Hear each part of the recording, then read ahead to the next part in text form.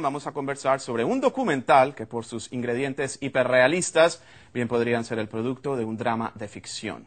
Empezamos entonces con este último, se titula Fraude, México 2006, y su director y digamos principal protagonista nos acompañan hoy en el estudio, Luis Mandoki, cineasta mexicano, y Andrés Manuel López Obrador, ex jefe de gobierno de la Ciudad de México y ex candidato a la presidencia en 2006. ambos gracias por acompañarnos. Hola Juan Carlos, un gusto estar aquí. Yo diría que el título entonces, Fraude, México 2006, no deja lugar a dudas de lo que tú interpretaste fue ese proceso electoral en el 2006 en México.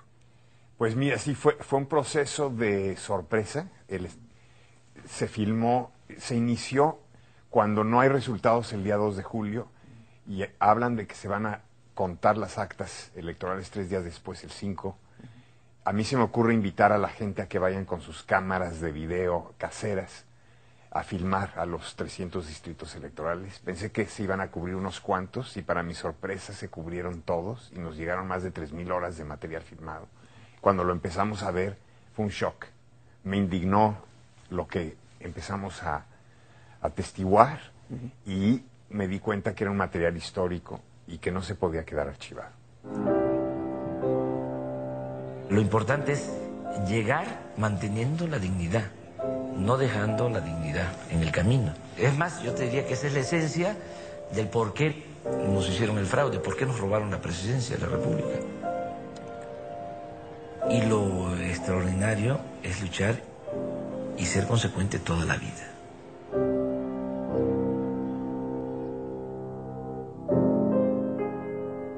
Cuando empecé a conocer a Andrés Manuel, me vino una especie de sorpresa del abismo que había entre lo que decían los medios y, quién realmente era eh, Andrés Manuel López Obrador. Cuando estaba editando yo el trabajo, mucha gente, amigos que venían a verlo me decían, pero es que esto no se conoce, esto, el, los mexicanos tienen que conocerlo para tener información de cómo van a votar en el 2006. Y de ahí empecé a ver lo tremendo de la distorsión de los medios de comunicación en México, que en esa época ni siquiera era tan fuerte como lo es ahora. Y, y en ese sentido era un poco humanizarlo también a él. ¿Cuál sería entonces para ti la, la razón de ser protagonista de este documental? Bueno, eh, lo mismo, informar a la gente, que se conozca eh, otra parte de la realidad, que no se tenga una idea distorsionada de nuestro movimiento, de lo que nosotros eh, buscamos. Por ejemplo, decía Luis de la distorsión de los medios, de la manipulación de los medios. Ese es un fenómeno, no solo de México, creo que mundial. Eh, hay mucha manipulación, mucha distorsión de lo que realmente sucede. Entonces, eh, este documental ayuda a aclarar. Yo estoy seguro que el que lo vea va a sorprenderse. Es uno de los fundadores del Partido de la Revolución Democrática. En el año 2000 es elegido jefe de gobierno de la Ciudad de México. Su popularidad lo sitúa como el candidato con más posibilidades de ganar las elecciones presidenciales y también lo convierte en el más atacado. ¿Quién no quiere que usted llegue a la presidencia? ¿Es el presidente Vicente Fox? Sí, yo considero que sí es el presidente. Creo que las diferencias tienen que ver con los proyectos de nación. ¿Qué tan fácil era para ti sentarte durante largas horas de, de filmación? Fue, pues, este, bastante pesado. Bueno, había que estar, sobre todo no estoy acostumbrado. Un político que no está acostumbrado a hablar ante una cámara. Eh, lo tengo que hacer por necesidad, sí, pero como que no es del todo agradable.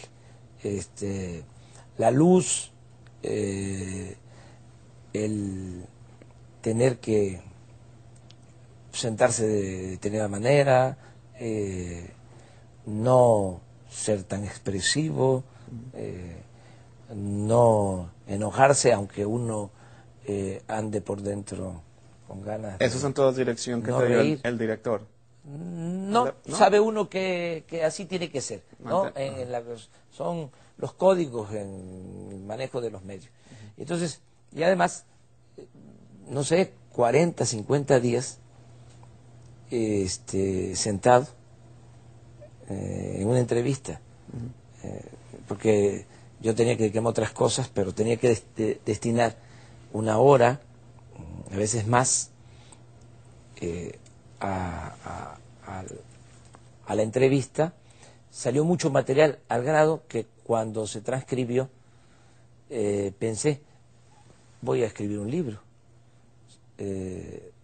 y terminé haciendo el libro, que se llama no se llama fraude, se llama la mafia nos robó la presidencia. Responsabilizamos al señor Andrés Manuel López Obrador de cualquier violencia que se genere en las 300 oficinas distritales del Instituto Federal Electoral. Te hacen el fraude y luego te dicen, estése quieto, no se mueva, no vaya eh, a protestar porque entonces le acuso de violento y usted va a ser responsable de todo lo que suceda.